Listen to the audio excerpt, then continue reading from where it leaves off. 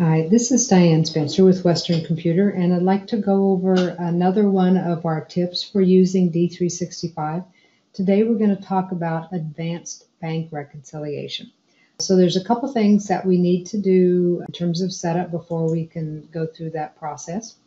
If we go to cash and bank management parameters and go to bank reconciliation, in the time available to us today, we don't have time to delve into each of these and the options for when you would select something or not select something. So I would strongly suggest that you take a look at that. But this would be one option in terms of how you may set up the bank parameters for advanced bank reconciliation.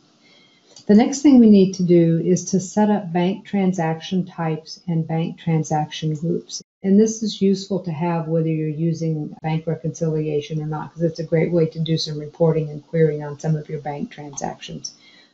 This is also where if you are entering transactions during the bank reconciliation process, things like fees maybe that you had not done before you're going through the bank process, this is how you can automatically tell D365 which account those transactions should go to. But once you get the bank transactions set up, then you will probably want to group those bank transactions into bank transaction groups. And this is just broad general groupings of the bank transaction types you just set up. The next areas that we need to take a look at for setup before we can use the advanced bank reconciliation functionality is under setup, and there's a whole section of functionality that is available under the heading of advanced bank reconciliation setup. So let's take a look at these one by one. The bank statement format I've already set up a bank statement format of BAI2, and BAI2 is a general widely used format for US banks, and you can will have to get the format from your bank if it's different than BAI2. The next thing we'll want to do is to look at transaction code mapping. And this is very important, and you will notice that this is by bank account, and it's actually usually by bank. So Chase may use a different series of codes than does Wells Fargo, than does, you know, Merchants Bank, that sort of thing.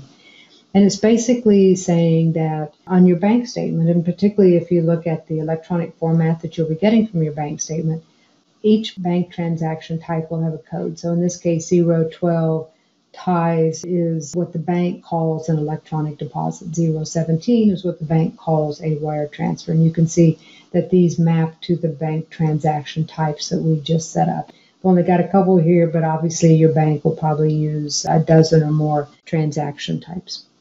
So once we get the transaction code mapping done, then we'll want to take a look at the reconciliation matching rules. And this is where a lot of the setup that we just did comes into play.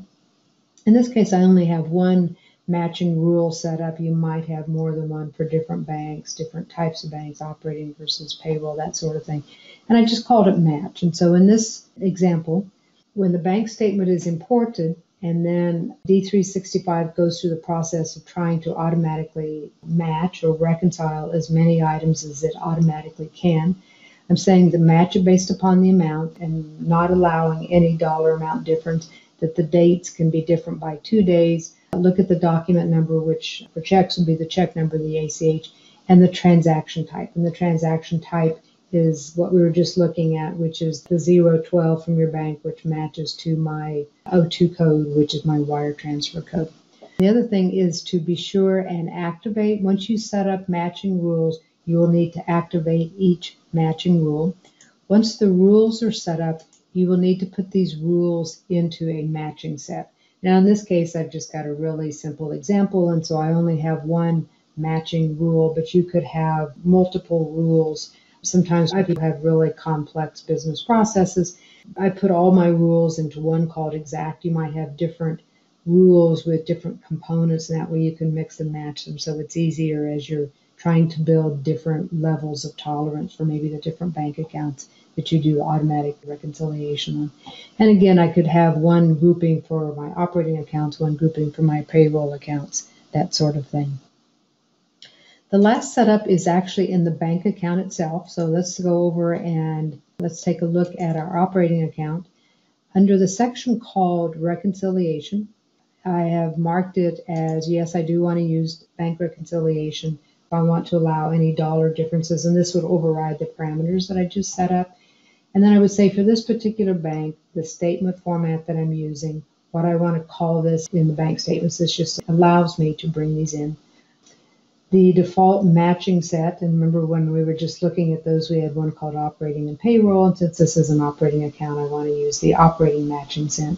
And then in terms of the reconcile after import, it's just a question of how automatic you want this process to be. And you may want to have it be a little more manual until you're more comfortable with your rules and the whole process, and then maybe move it to automated at that point.